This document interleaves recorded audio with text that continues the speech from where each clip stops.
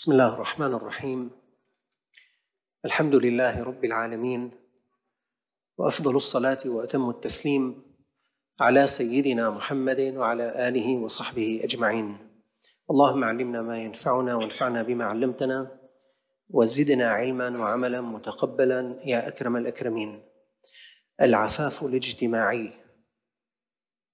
هذه سلسلة من الدروس عنوانها قضايا مجتمعية. وعنوان درس اليوم العفاف الاجتماعي. من عاداتنا أن يقف الطارق على يمين الباب أو على شماله حتى لا تدخل عينه إلى الدار إذا فتح الباب فجأة فيشاهد عورات أهل البيت. إنه العفاف الاجتماعي.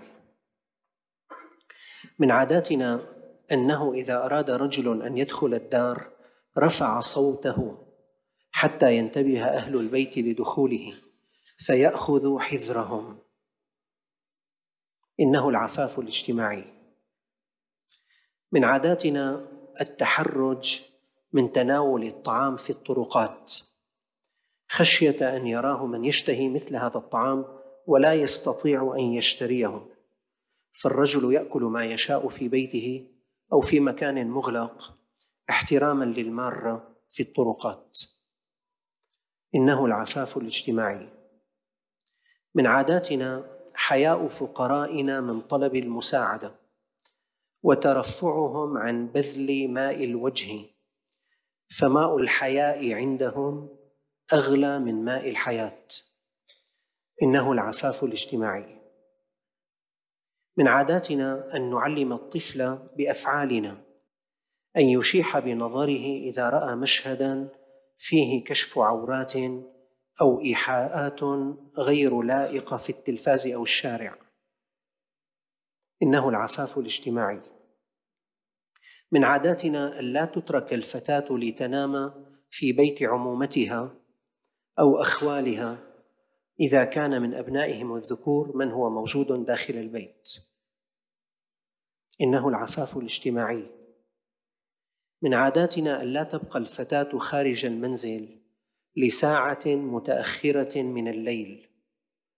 فالفتيات يرجعن إلى البيوت باكرا احتراما ورعاية وعفة. ويحدد للأبناء الذكور وقتا لا يتجاوزونه في العودة مساء للمنزل. مراعاة لحرمة البيت. هذا الكلام يا شباب لازم تعرفوه. ولازم تلتزموا فيه. هذا عفاف اجتماعي. هذا المجتمع مئات السنوات هذه سيرته. من عاداتنا ألا تزور بنت من بناتنا بيت صديقة لا تعرفها أو لا نعرفها. وإذا زارت صديقة تعرف أهلها ونعرفهم بالطهر والخلق النبيل فهي تختار للزيارة الوقت المناسب بحيث تكون النساء وحدهن في الدار. إنه العفاف الاجتماعي. من عاداتنا أننا نعلم أن لبيوت الناس حرمة فلا نرفع أصواتنا أو أصوات ضحكاتنا إذا كنا ضيوفا عندهم. ولا نخالف أحدا أو نهاتفه في ساعة متأخرة ليلا إلا مضطرين. ولا ننظر إلى شرفة أحد أو داخل داره إلا بإذنه. حتى التليفون ما مندق بساعة متأخرة. هيك في عفة مجتمعية في أدب عام في بيوت لها حرمة. إذا إسعاف أيمت ما بدك دق. إذا شيء طارئ جدا دق. بس إذا بس هيك مكالمة ومسامرة معقول؟ معقول الساعة 12 بالليل عم تدق لواحد عم تقول له اشتقت لك بدي أحكي معك؟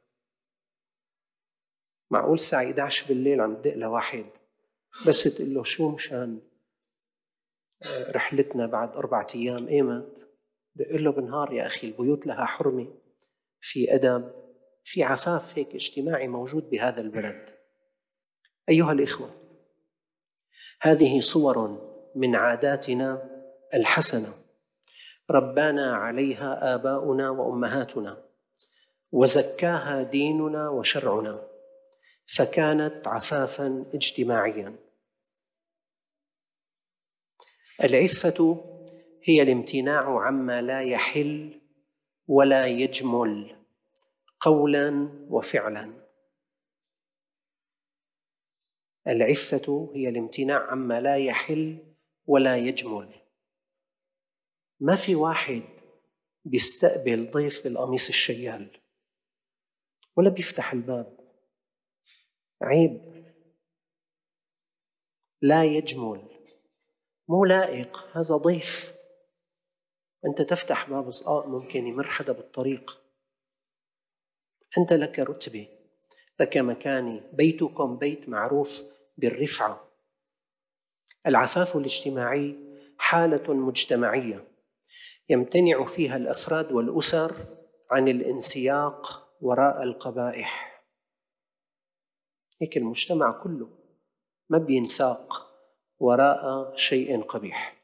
اتفق العقلاء على أن العفة قيمة عليا لأنها تحفظ بصمة الإنسان الأخلاقية ويترتب على غياب العفة انفراط عقد القيم وترهل المجتمعات ويسهم غيابها في بروز الأخلاقيات الهابطة والمتدنية.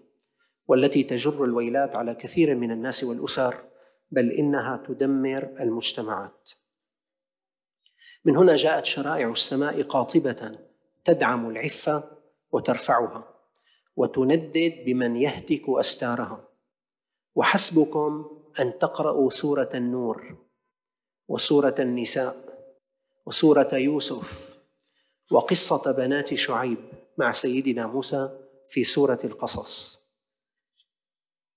بل إن القوانين الوضعية أيها الإخوة العفيفة جرمت من يخدش الحياء ويرتكب الأفعال المنافية للعفة والآداب العامة لأن هتك العفاف مؤذن بخراب البلدان. عن عطاء بن أبي رباح قال قال لي عبد الله بن عباس رضي الله تعالى عنهما ألا أريك امرأة من أهل الجنة؟ قلت بلى. قال هذه المرأة. أتت النبي صلى الله عليه وسلم فقالت يا رسول الله إني اصرع فادعوا الله لي. معها مرض تجي نوبة صرع. نسأل الله العافية لنا ولكم جميعا ولكل المرضى. شوفوا أنتم نوبة الصرع بتشنج وبكز على اسنانه ويخرج زبدا ويسقط في الأرض. قالت يا رسول الله إني أسرع فادعو الله لي. فقال النبي صلى الله عليه وسلم إن شئت صبرت ولك الجنة وإن شئت دعوت الله أن يعافيك. فقالت يا رسول الله أصبر ولكني إذا صرعت تكشفت فادعوا الله تعالى لي ألا أتكشف. فدعا لها النبي صلى الله عليه وسلم فكانت تصرع فلا تتكشف. الله أكبر يا أخوان. لقد رضيت هذه المرأة بهذا المرض الشديد ولم ترضى أن تتكشف. أنا أصرع معلش. بس ادعي لي بس ما أتكشف. في عفه في خلق عالي عالي عالي يمنع الإنسان من أن يرتكب المحرمات أو القبائح. عن عائشة رضي الله تعالى عنها قالت كنت أدخل بيتي الذي فيه رسول الله صلى الله عليه وسلم وأبي فأضع ثوبي وأقول إنما هو زوجي وأبي. أنتم بتعرفوا إنه النبي صلى الله عليه وسلم دفن في حجرة السيدة عائشة فالأنبياء يدفنون حيث يموتون. لما مات سيدنا أبو بكر رضي الله تعالى عنه دفن بالقرب من جناب رسول الله صلى الله عليه وسلم. ستنا عائشة تفوت على غرفتها قال تقيم الغطاء عن راسها تقول إنما هو زوجي وأبي. قال فلما دفن عمر معهما فوالله ما دخلت إلا وأنا مشدودة علي ثيابي حياء من عمر. الله أكبر. عمر ميت يا أخوان. عائشة تحط إشارة. شو هالتربية هذه؟ ما هذا الخلق؟ ما هذا السمو في في في التربية العالية جدا؟ إنها العفة في كمالها في أزواج رسول الله صلى الله عليه وسلم أمهات المؤمنين. إن عفافنا الاجتماعي أيها الإخوة في بلادنا العربية والإسلامية. والحمد لله. دفعنا لنفاخر بالعفاف ونتسمى به.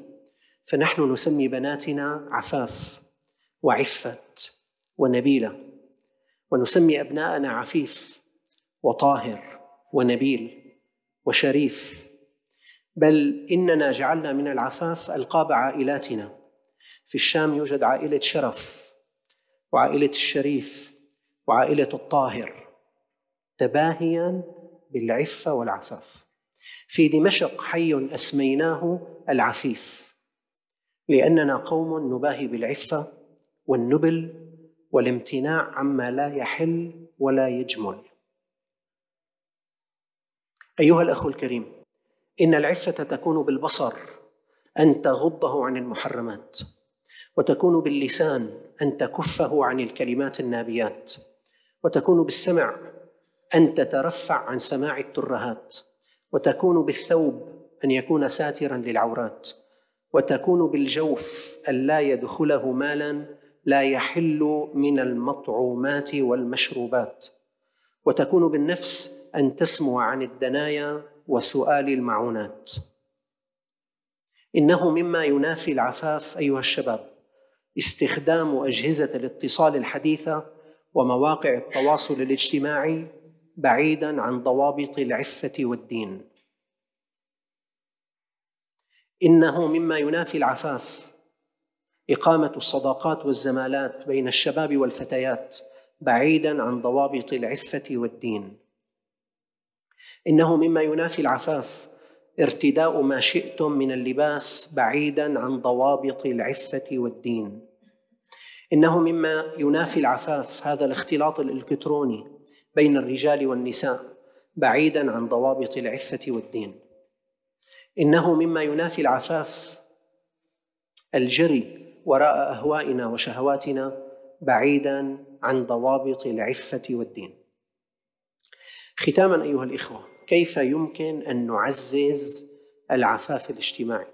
وهذا واجب كل واحد بيناتنا فيما يستطيع من هذه المفردات. بس هذا المجتمع هكذا مجتمع عفيف. فيا أيتها الأجيال الجديدة حافظوا على ما كنا عليه حتى نبقى في رفعة وفي طهر. كيف يمكن أن نعزز العفاف الاجتماعي؟ اولا غرس مراقبة الله تعالى وخشيته ومحبته في القلب. وليس شيء أنفع للقلب ليمتلئ حبا لله وخشية من الإكثار من ذكر الله. لازم قد ما بتقدر هيك قلبك يمتلئ حبا لله وخوفا منه. بتصير كلماتك محسوبة ونظراتك محسوبة ومشاويرك محسوبة ورسائلك محسوبة. إذا امتلأ القلب حبا لله وخوفا من الله. كيف؟ أكثر من ذكر الله تعالى. كثرة الذكر تورثك الحب والحب يورثك مراقبة المحبوب. ومراقبة المحبوب تورثك الانضباط في كلماتك ونظراتك وسمعك وما يدخل إلى جوفك وذهابك وإيابك.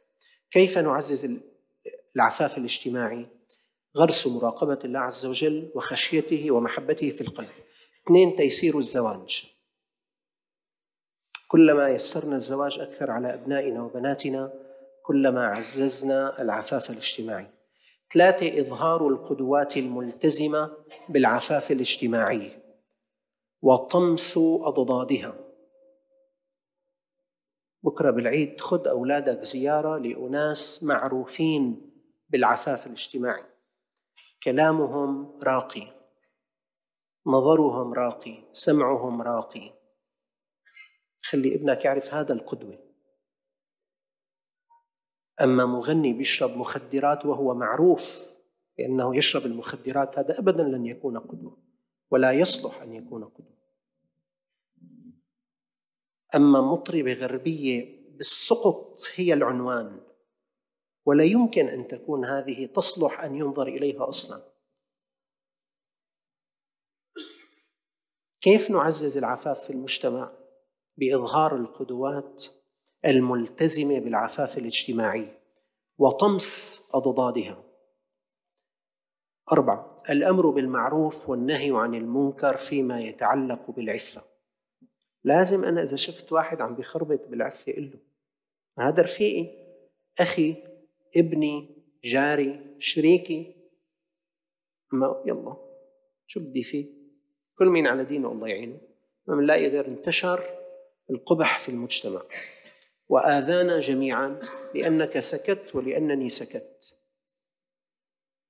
خامسا وأخيرا تطبيق القوانين المتعلقة بخدش الحياء والآداب العامة. إحنا في عنا قوانين بالبلد وضعت فقط مشان يلي بيسيء للعفة يعاقب. مثلا المادة 519 من قانون العقوبات السوري. يعاقب بالحبس من ثلاثة أشهر إلى ثلاث سنوات. والغرامة من أقدم على صنع أو تصدير أو توريد أو اقتناء كتابات أو رسوم أو صور يدوية أو شمسية أو أفلام أو إشارات أو غير ذلك من الأشياء المخلة بالحياة بقصد الاتجار بها أو توزيعها أو أعلن أو أعلم عن طريقة الحصول عليها. هذا قانون. يلي بيوزع صورة ما حلوة بنحبس لثلاث أشهر لثلاث سنين. يلي بيروج لهذه الصور يلي بيدل وين بتنباع ينحط بالحبس. يعاقب بالحبس من ثلاثة أشهر إلى ثلاث سنوات. والغرامة من أقدم على صنع أو تصدير أو توريد أو اقتناء كتابات أو رسوم أو صور يدوية أو شمسية أو أفلام أو إشارات أو غير ذلك من الأشياء المخلة بالحياة بقصد الاتجار بها أو توزيعها أو أعلن أو أعلم عن طريقة الحصول عليها. هذه المادة 519 ويوجد غيرها من المواد المعاقبة لمن اعتدى على العفة أو أساء إليها كالمادة 493 499 500 506 507 509 وغيرها. أيها الإخوة خلاصة الأمر. مهما عففنا رفعنا. وقد كان من دعاء النبي صلى الله عليه وسلم اللهم إني أسألك الهدى والتقى والعفاف والغنى. أيها الأحبة إن تقوية أواصر المجتمع ديدن كل نبيل وحكيم ويدعو الإسلام في كل تعاليمه إلى الجماعة والاجتماع وتقوية أواصر المجتمع. وينهى عن التفرد والتفرق والتناحر وإضعاف أواصر المجتمع. والعفاف الاجتماعي ينفع الأفراد ويقوي أواصر الجماعة. فالزموه. وصلى الله على سيدنا محمد وعلى آله وصحبه وسلم. والحمد لله رب العالمين.